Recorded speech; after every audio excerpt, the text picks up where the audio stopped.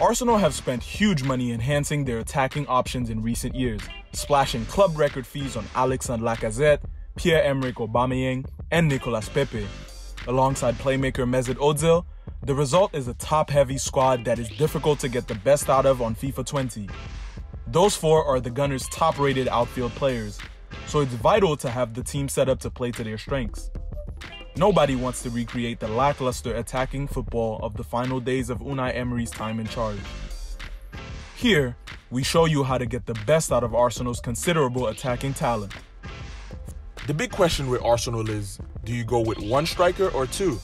The answer for FIFA 20 is one, meaning Aubameyang should be played off the left.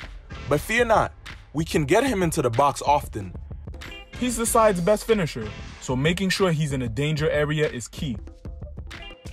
Set the team to 4-3-3 attacking formation, with Pepe on the right and Lacazette through the middle.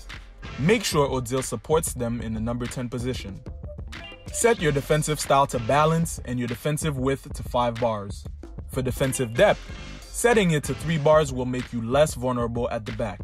More importantly, it should open up more space for you to exploit at the other end of the pitch, allowing you to take advantage of Aubameyang and Pepe's pace with some devastating counterattacks. Selecting fast build-up as your offensive style should help with that too. Set your attacking width to 4 bars. Oba and Pepe are the most effective cutting inside onto their strong feet, so you need to keep things relatively narrow.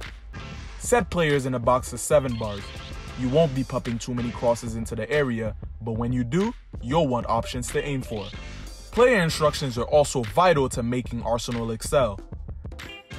To keep Aubameyang in the right area, set his defensive support to stay forward, his chance creation to cut inside, and his support on crosses to get into the box.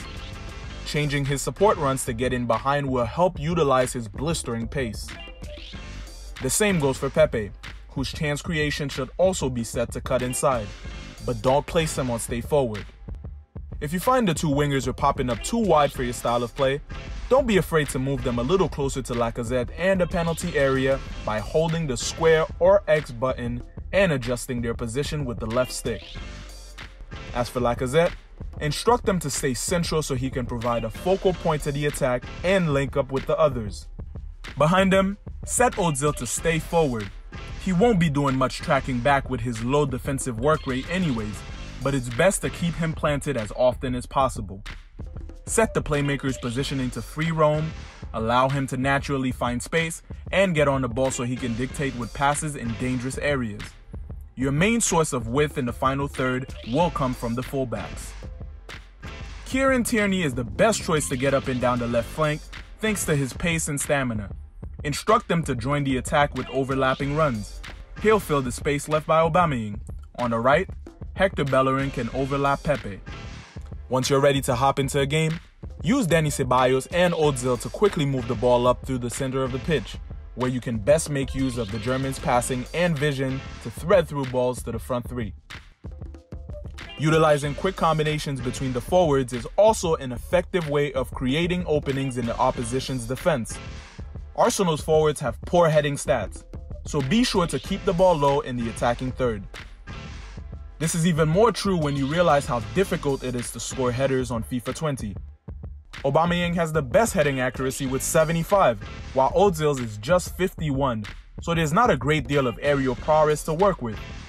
When you work your way into a shooting position, it's worth remembering that Oba, Pepe, and Ozil all have the finesse shot trait, so they're particularly effective when some curl is applied to their efforts on goal. To further maximize your attacker's effectiveness, make use of their preferred foot when possible. Aubameyang and Lacazette are right-footed, but with 4-star ratings in using their left, it's perfectly fine to shoot with either. Ozil and Pepe only have 2-star ratings in using their right, so keep them on their left.